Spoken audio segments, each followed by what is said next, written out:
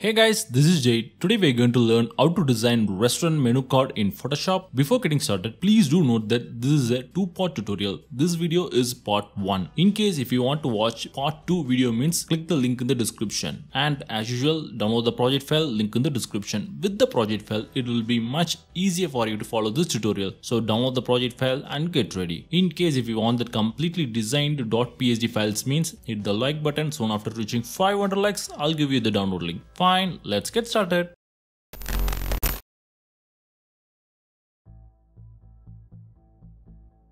First go to file, new and create a new canvas in Photoshop. Based on your requirements, you create a canvas. You can go with A3, A4, A5. It's up to you. Make sure to keep the resolution as 300 and the color mode as CMYK which is industry standard print format. Else you can go to project file. There you will find two folders menu front and menu back. In this video, we are going to design menu front side. To watch menu backside tutorial, click the link in the description. Fine, now click the menu front side folder. There you will find a menu front PSD file. Double click and open the file inside Photoshop. This one is a design ready file, size is A4.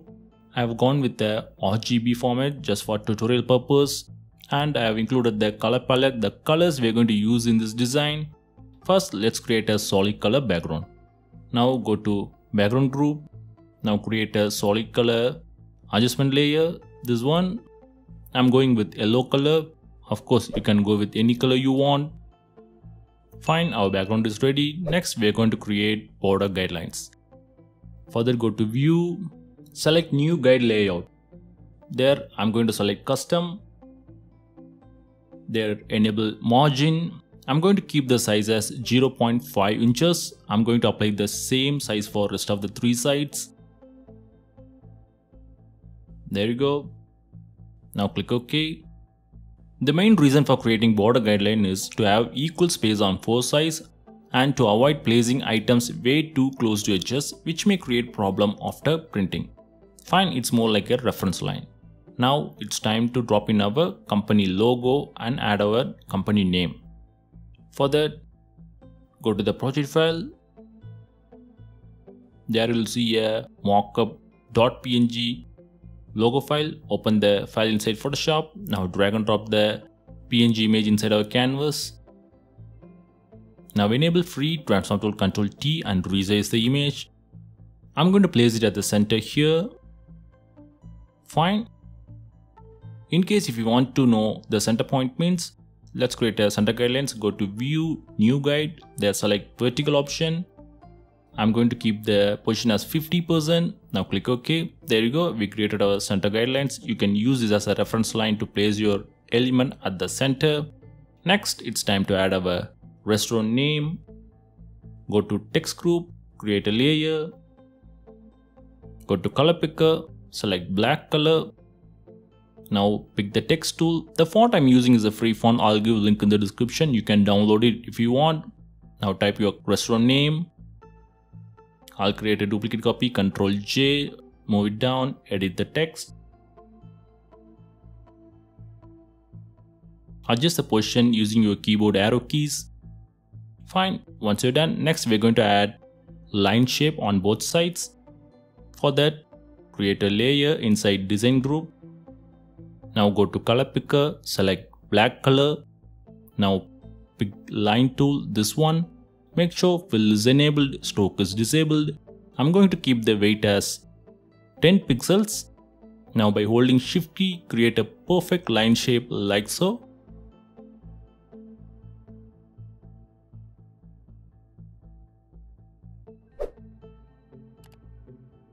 Next, I'll create a duplicate copy of this line shape using keyboard shortcut Ctrl J. Move it to left side. Adjust the position using your keyboard arrow keys. There you go, our line shape is ready. We're going to keep this menu front side as super clean. We're going to add just the stock images with price tag. Let's start by dropping in our main food item stock image. Now go to project file, open dish 1 stock image inside Photoshop. This image is neatly cropped .png file. In case you want to learn how to crop your food item image means, here's a easy trick. Take a picture of your food item and open it inside Photoshop.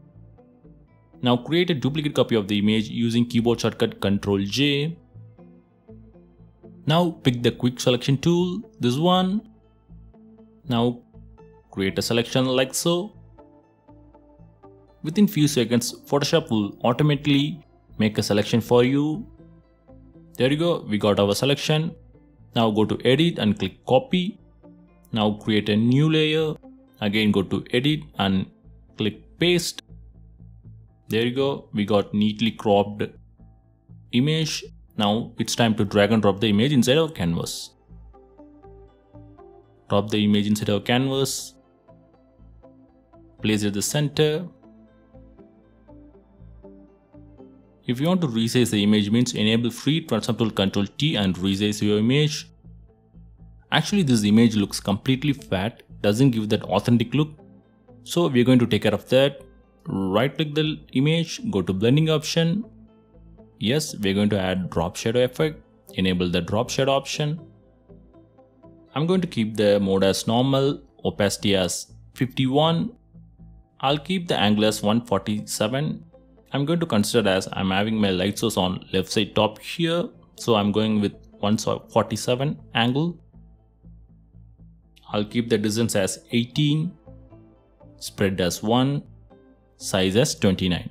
Of course, you don't need to go with exactly very same number. Feel free to experiment. This is before and after. Now click OK. Now it's time to drop in our other stock images. Now go to project file, open dish to stock image inside Photoshop. And again, yes, this one also neatly cropped .png file. Now drag and drop the image inside of our canvas. I'm going to place it here, resize it. Now add drop shadow effect. Select the first image, right click, copy the layer style. Now select the second image, right click, paste the layer style. There you go. I'm going to repeat the same step. I'm going to drop in another stock image, project file, open dish 3, drag and drop the image inside of a canvas, resize the image, and again yes I'm going to add my drop shadow effect. Right click, copy layer style, paste layer style. Fine. Now our main image is ready. Next it's time to add our text content which is price tag. For that go to text group, create a layer. Now go to color picker, pick black color. I'm going to use the very same font I used previously. I'm going to change the font style and size. Now add your price tag add your text content and format it the way you want. I'll create a text content. Next, I'm going to create a duplicate copy using keyboard shortcut Ctrl J, move it down, edit the text. I'll resize the size a little bit. Fine. Once you're done, next I'm going to add a line shapes. For that, create a layer, go to color picker, select black color. Now pick line tool Make sure fill is enabled, stroke is disabled. I'll keep the weight as 5 pixels. Now by holding shift key, I'll create a perfect line shape like so. Adjust the position using your keyboard arrow keys. Next, I'll create a duplicate copy, Ctrl J, move it down. Now take your time and adjust the position of the stock images and text layer using keyboard arrow keys. Next, we're going to add three little food item images with price tag. For that, let's start by creating a new group.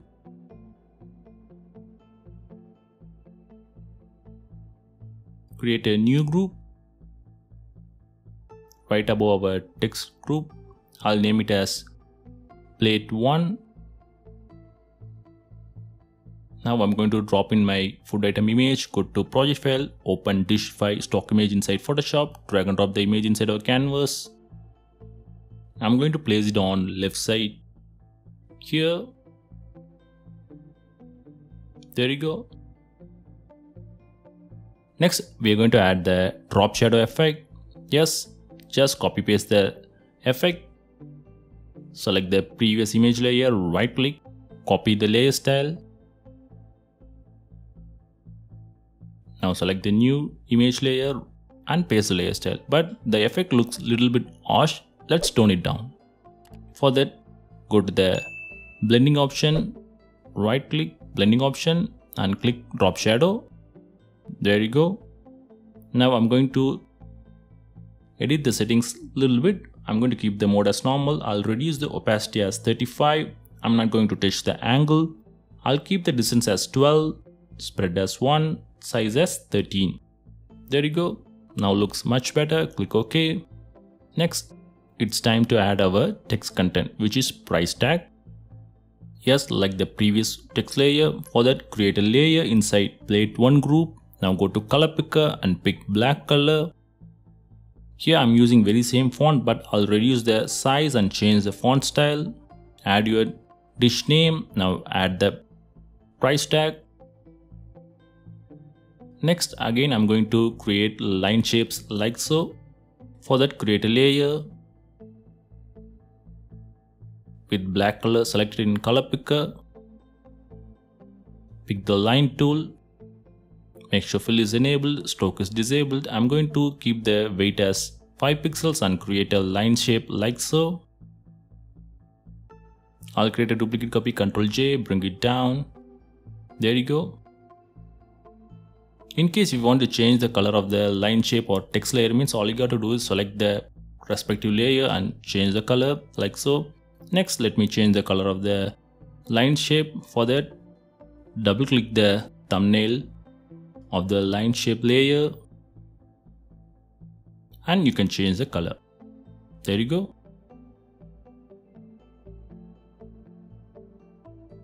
Now our plate 1 group is ready.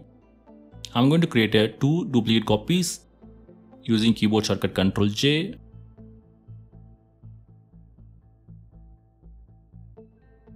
There you go. I'll move it to right side a little bit. I'll create another, copy, Ctrl J. Now I'm going to name the groups perfectly as 2 and 3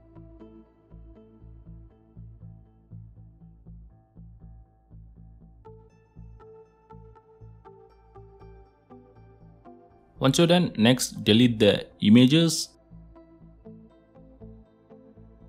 Fine. I'm sure you know what to do now. It's time to drop in our new images. Go to project file, open dish 6 stock image inside Photoshop, drag and drop the image inside our canvas, place it inside plate 2 group, adjust the position using your keyboard arrow keys. I'm going to repeat the same step for plate 3 group, open the image inside Photoshop, drag and drop the image inside your canvas, place it inside plate 3 group.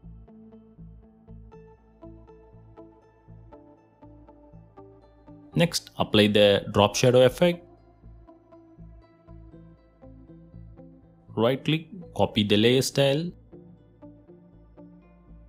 Now apply the drop shadow effect for the two new images.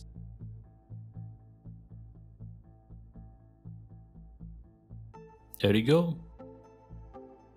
Next, it's time to edit the text layers.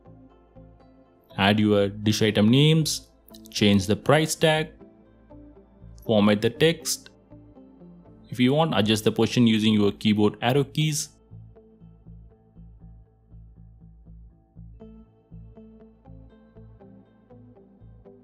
Fine, now we are done with the top part. In the bottom part, we are going to add two images I'm going to add a chef image on left side and a main dish image on right side. Let's start by adding our chef model image. For that go to the project file, open the chef image inside Photoshop. Now drag and drop the image inside our canvas. This image is neatly cropped .png file. You can add this image else you can go with any food item images, it's up to you. Now enable free transform tool Ctrl T and resize the image.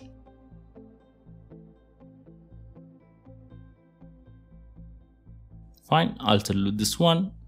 Next, it's time to add our main food item dish on right side bottom here. Go to the project file. Before that, let's create a new group. create a new group, name it as plate 4. Now drop the food item image, go to project file, open dish 8 stock image inside Photoshop, drag and drop the image inside our canvas. I'll place it here. Yes, we're going to repeat the very same step. Resize the image, add the drop shadow effect. Next, we're going to add our food item name and price tag. Create a layer, select any color you want. Now pick the text tool, add your food item name,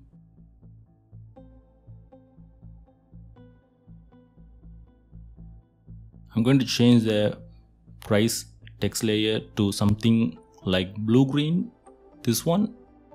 Click OK. Next I'm going to create a two line shapes top and bottom here. Create a layer. Select black color. Now pick the line tool. I'm going to keep the weight as 5 pixels. Now create a line shape like so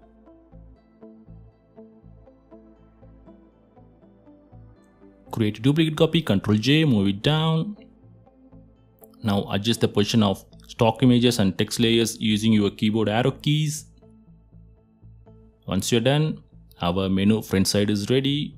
Now disable the color palette, save the file. To print the file, export the template as PDF or PNG and get it printed. So that's it guys, our menu front side is ready. Next we are going to design menu backside which is part 2 video. Link to part 2 video is given in the description. So don't forget to check it out. I hope this video is useful to you. If you like this video, feel free to hit the like button. For more interesting Photoshop tutorials, subscribe to my channel. If you are interested, please do check out my other videos. Thanks for watching. Take care.